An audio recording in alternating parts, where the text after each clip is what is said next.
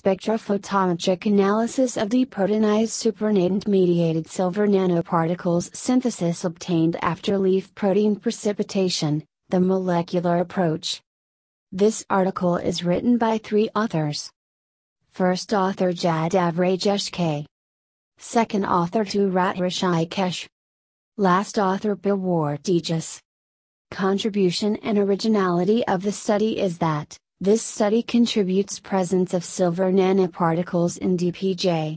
It used novel methodology by microscope and spectroscopy. The formula is first attempt in leaf protein research. The contribution motivates to assess gold and nitrogen nanoparticles from fungi grown on DPJ. In order to study the cellular nanoparticles, leafy tissues fractionated to juice during which the upper supernatant obtained is deproteinized juice. This supernatant consists of the majority of the disposed nutrients passed through the juice by heating and isolation of leaf protein of the grain crop.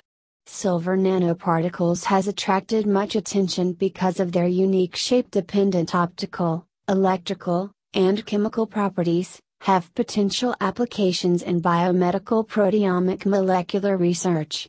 An attempt has been made to the formation of the nanoparticles by reduction of the aqueous metal ions during exposure to the broth of Colocasia, fenugreek, Basella and cruciferous leaves by light microscopy and UV vis spectroscopy. In earlier research, deproteinized juice found inhibiting the growth of fungi trichoderma and cell division in the meristematic root tissues of Allium sp and Celosia argentea. During present investigation, it indicates that the constituents responsible were nanoparticles. Attempts were experimented the detection of nanoparticles in the DPJ prepared from various species. Colocasia DPJ found having spherical, irregular, hexagonal and triangular shaped nanoparticles. DPJ nanoparticles binds enzymes for its activation and interacts with cellular soluble proteins.